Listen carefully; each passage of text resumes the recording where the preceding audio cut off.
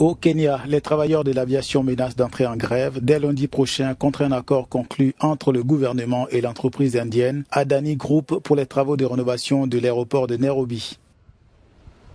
Le mois dernier, le gouvernement kenyan a déclaré dans un communiqué que l'aéroport international Jomo Kenyatta dépassait sa capacité de 7,5 millions de passagers par an et que des travaux d'amélioration s'imposaient.